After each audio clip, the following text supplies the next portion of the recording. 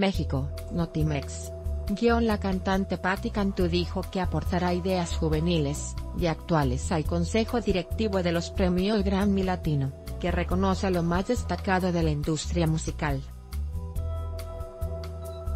Cantú, quien recibió disco de oro por las altas ventas de su producción número 333, y que compartió con los 70.000 espectadores que se dieron cita en el Estadio Azteca, para celebrar los 25 años del canal musical de Telate, indicó, tenemos que ser participativos y ojalá haya más miembros mexicanos que aporten ideas para que la academia se adapte a los cambios que estos tiempos traen a la industria de la música.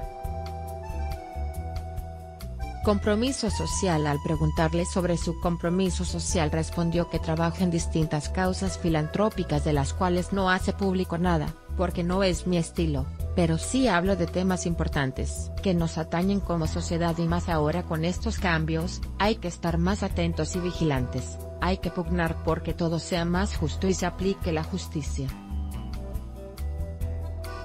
Patti Cantú subrayó que está abierta a cualquier fusión musical, me encantaría hacer algo con los grupos de K-pop, como los exponentes coreanos de Super Junior, que provocaron la locura entre las jovencitas en esta fiesta de Telate, en este estadio azteca, así que ya vendrá una colaboración, finalizó.